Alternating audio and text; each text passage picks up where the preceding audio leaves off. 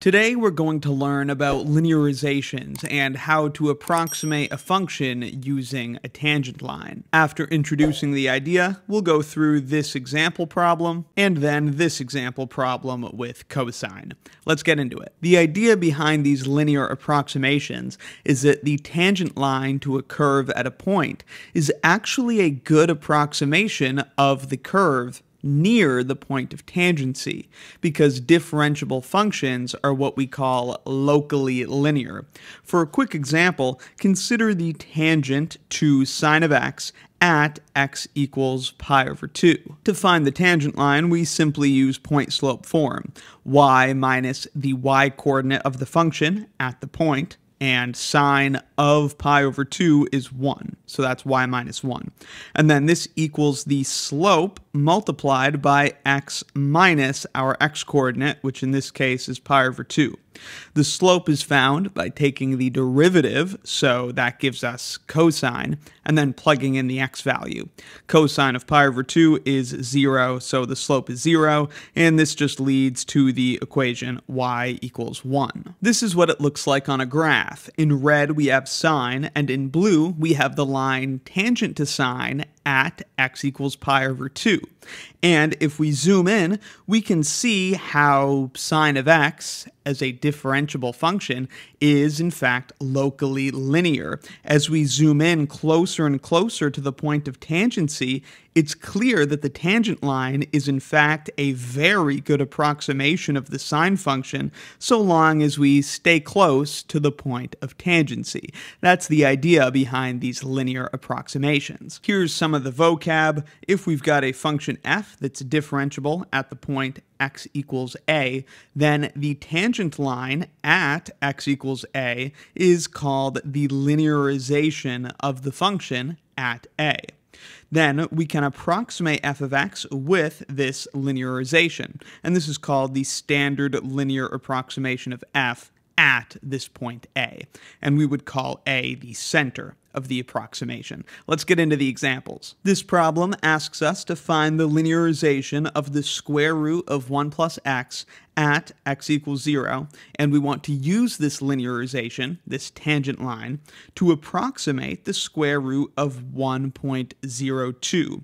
And then we can use a calculator to see how accurate our linear approximation is. Remember, linearization in this context is just a fancy word for the tangent line. So the linearization of this function at x equals 0 is the tangent line at x equals 0. So we simply need to find the tangent line, and for that we need a point and a slope. For the point, we know that the x-coordinate is going to be 0, and for the y-coordinate, we just need to plug 0 into the function. And if we plug 0 into the function, so we look at f of 0, that's just going to be the square root of 1 plus 0, which is 1. So our point is 0, 1. Then we need to find the slope, and to do that, we'll have to take the derivative. Remember that we can rewrite radicals as exponents. So another way we could write f of x is 1 plus x to the power of a half. That's the same as a square root.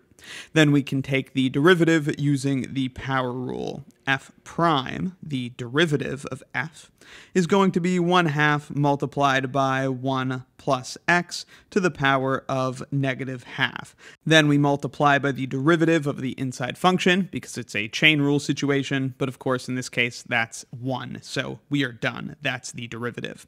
Now to find the slope, we need to plug in the point. We want the tangent at x equals 0. So we want the slope at x equals 0. So let's put 0 into our derivative to figure out what the slope is there.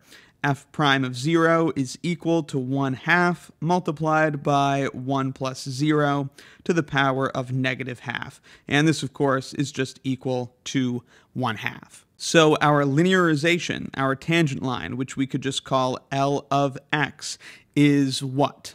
Well, if we wrote it in point slope form, it would be L of x playing the role of y here, L of x minus the y coordinate, which was 1, equals the slope, which is 1 half, multiplied by x minus the x coordinate of 0, which is just x. And then we could add 1 to both sides and find that the linearization L of x is equal to 1 half x plus 1. You can see in the equation given here, this f of a on the right side is just the minus y coordinate from point slope form added over to the right side like we've done here. Now that we've got the linearization of the square root of 1 plus x at x equals 0, we can use it to make a linear approximation of the square root of 1.02. So to do this, what do we plug in to the linearization? Well, we're approximating this function, square root of 1 plus x. And the specific thing we want to approximate in this case is square root of 1 0.02. So the x is 0.02. So we should plug 0.02 into our linearization. So L of 0.02 is equal to 1 half multiplied by 0.02 plus 1. 1 half of 0.02 is 0.01. And so our approximation is 1 0.01. Now, how does our simple linear approximation compare to a calculator? Well, the linearization gave us this, that the square root of 1.02 is about 1.01. A calculator gives this, and the error, the absolute difference between the two numbers, is about 4.95 times 10 to the power of negative 5. So we can say that our error, it's quite small in this case. It's less than 10 to the power of negative 4. So not bad for such a simple approximation. As you should expect, the approximations will be better the closer we are to the center of the linearization. In this problem, we made our linearization centered at x equals 0. So for small values of x, it will be a decent approximation as we get further away from zero, so we get these bigger values of x, the approximation gets worse. If we were to approximate the square root of 1.002 using our linearization, that's an even better approximation, with an error less than 10 to the power of negative 6. This is the approximation that we worked through. If we go a little bit further and try to approximate the square root of 1.2, the error of the approximation is a little bit bigger It's only less than 10 to the negative 2. And for a more extreme example, remember that the function in question is the square root of 1 plus x. So what if we wanted to use our linearization centered at 0 to approximate the square root of 3? Well, to do that, we'd have to plug 2 into our linearization. And that would give us that we've got 1 half multiplied by 2 plus 1. And so the linear approximation would be 2, which really is not close at all because the square root of 3 is about 1.7 and change. So we've gone quite far away from the center, x equals 0, by plugging in x equals 2, and you can see the approximation now isn't even accurate to a single decimal place. All right, one more example before we go. Let's find the linearization of cosine of x at x equals pi over 2, and then use it to approximate cosine of 1.75. 1.75 is pretty close to pi over 2, so this is a somewhat reasonable approximation. And again, we will determine the accuracy of the approximation using a calculator. We'll see how big our error is.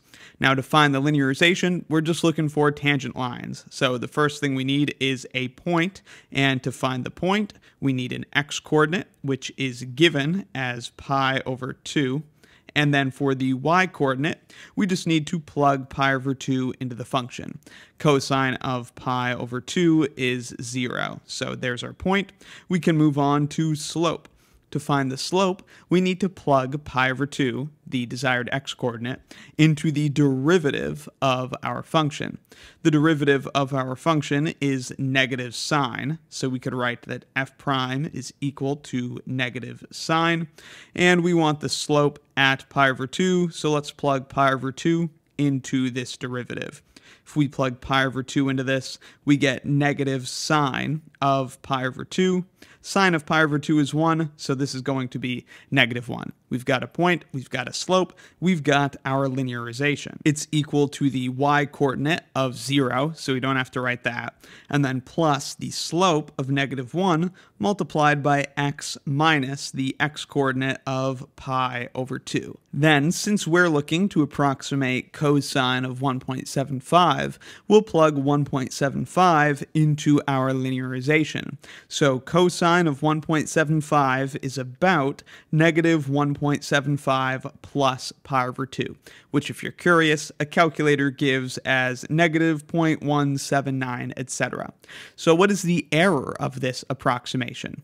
Well, a calculator gives negative 0.178, etc as the value for cosine of 1.75, and the distance between our linear approximation, negative 1.75 plus pi over 2, and the calculator's value for cosine of 1.75 is about 9.57 times 10 to the negative 4. Again, a pretty solid approximation. We could say that the error is less than 10 to the negative 3. So that's just a quick look at linearizations and local approximations, how to compute them, and why they make some sense for differentiable functions. Here again are some of the terms in this definition, if you're interested. Thanks for watching. Let me know in the comments if you've got any questions.